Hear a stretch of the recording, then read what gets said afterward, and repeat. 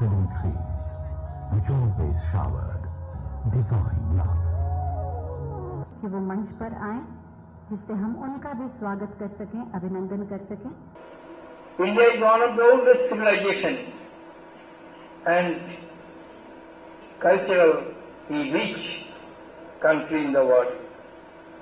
As we now make the transformative changes, moving from developing country to developed country, there will be tremendous pressure on our socio-economic and moral fabric.